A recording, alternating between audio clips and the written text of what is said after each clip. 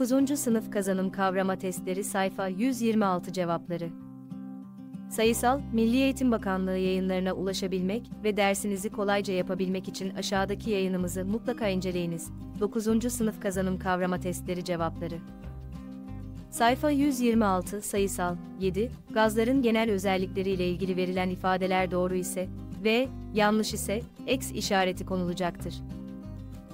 Buna göre aşağıdakilerden hangisine ulaşılır? Cevap E. 8. normal koşullarda 1 mol gaz kaç litre hacim kaplar? A. 11,2 B. 22,4 C. 24,5 D. 25,4 E. 27,6 Cevap B. 9. gazlarla ilgili verilen bilgilerden hangisi yanlıştır? A. Gazlar maddenin en düzenli halidir.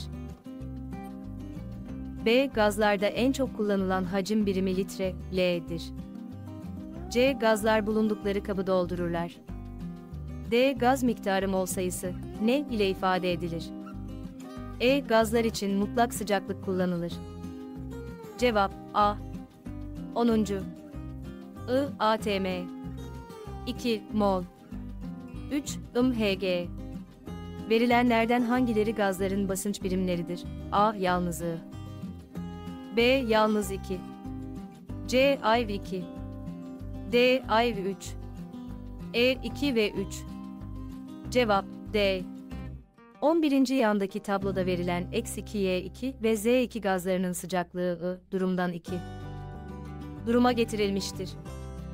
Buna göre hangi gazların mutlak sıcaklığı 2 katına çıkmıştır?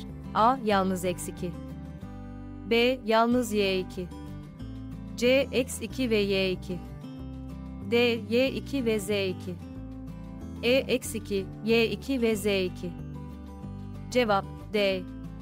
12. atmosfer basıncı deniz seviyesinde kaç atm'dir? A. 0 B. 1 C. 2 D. 273 E. 760 Cevap B.